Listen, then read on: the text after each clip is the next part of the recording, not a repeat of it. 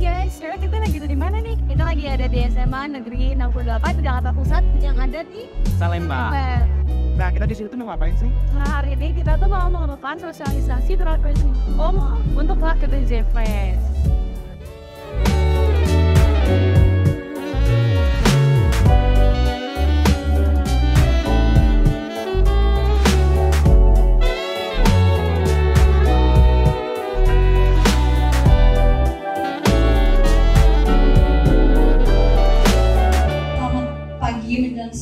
Buat teman-teman. Berarti kelas berapa sekarang? Kelas 11 IPS semua ya? Kelas 11 IPS, selamat siang dan kita datang untuk sosialisasi terkait keprofesian hukum yang merupakan salah satu tugas dari mata kuliah kami di Fakultas Hukum UI. Oke, sebelum masuk ke materi tadi juga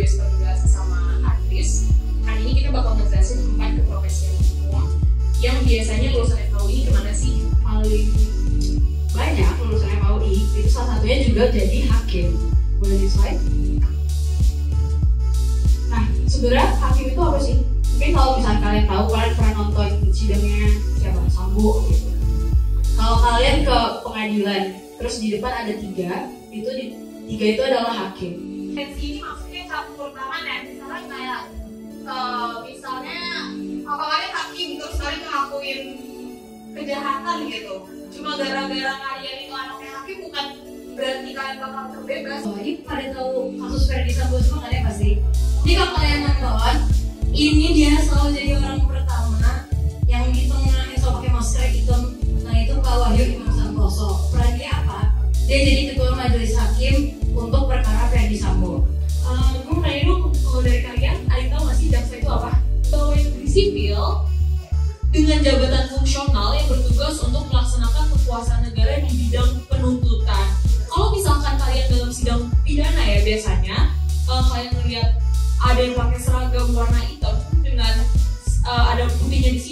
biasanya adalah eh, jaksanya. jaksa itu kan sebagai umum ya di mana umumnya di kasus pidana itu kebanyakan kasus pidana mostly semua kasus pidana itu dibawa ke muka hakim itu melalui jaksa penuntut umum Bapak Gatot Arnadi Harja. Nah, Bapak Gatot Arnadi Harja ini merupakan Jaksa Agung Republik Indonesia yang pertama. salah satu profesi hukum yang diminati paling banyak yaitu pengacara pengacara adalah orang yang memiliki profesi dalam memberikan bantuan jasa hukum di dalam maupun di luar pengadilan hak dan kewajiban seorang pengacara.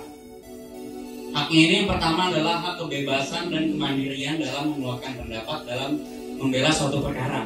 Sebelumnya mau nanya nih, kalian familiar nggak dengan kata notaris ini? Siapa sih notaris itu? Apa kerjanya? Ada yang tahu? Kami Kinata, betul. Notaris adalah pejabat umum yang berwenang untuk membuat akta otentik dan kewenangan lain yang diatur oleh undang-undang. Kita masih bisa SA langsung eh, jadi notaris, tapi sekarang kita harus lulus S2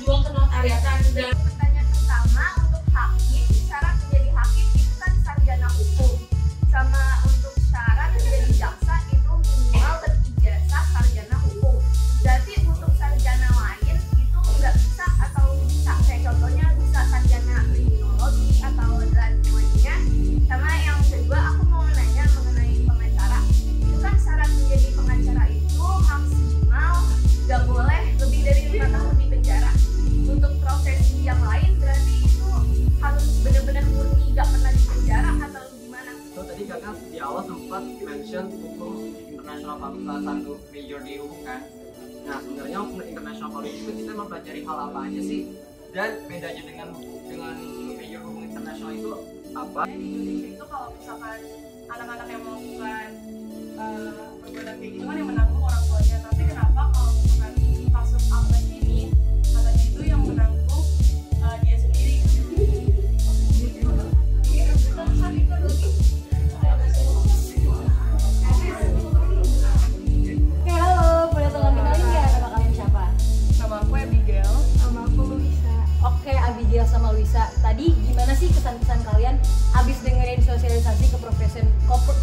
kepastian hukum dari abang mbak FAUI? Uh, eh, menurut aku mbak dan abang sangat keren dan pemaparannya itu bagus banget. Terus uh, jadi bikin aku kayaknya yang tadinya nggak mau masuk fakultas hukum jadi kayaknya kepengen deh. Oke, okay, gimana kalau bisa? Kalau aku juga sama sih kayak uh, informasi yang dikasih itu kayak cukup jelas. Jadi kayak aku jujur ya tertarik juga. Iya.